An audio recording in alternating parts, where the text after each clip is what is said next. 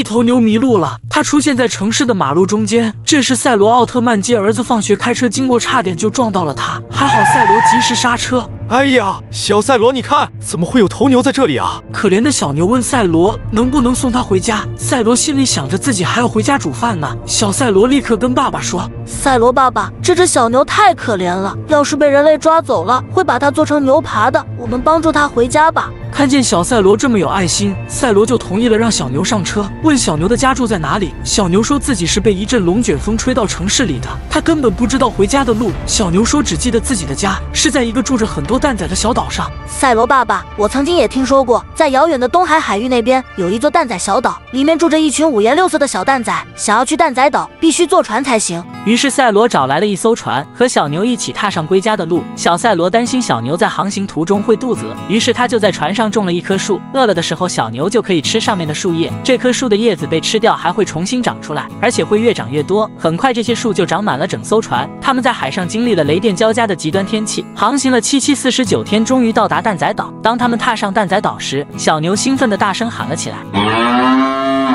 他终于回到了熟悉的地方。小牛，你回来了，我们找你很久了，你去哪里了？我被龙卷风卷到了城市里，是赛罗奥特曼和小赛罗送我回来的。小蛋仔们纷纷围了过来，好奇地看着赛罗和小赛罗。随后，蛋仔们邀请了赛罗和小赛罗享用了美味的晚餐。蛋仔还给他们表演了科目三。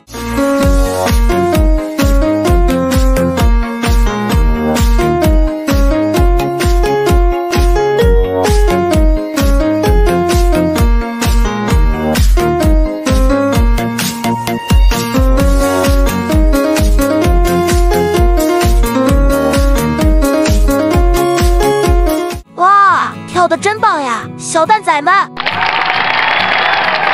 随后，小赛罗决定把船上那些吃不完树叶的树留在蛋仔岛给小牛吃。最后，赛罗和小赛罗带着满满的回忆准备回家。蛋仔们和小牛都依依不舍的告别。他们的船缓缓地驶出蛋仔岛。赛罗看着懂事的小赛罗，心中充满了骄傲。他们一起迎着阳光，向着家的方向前进。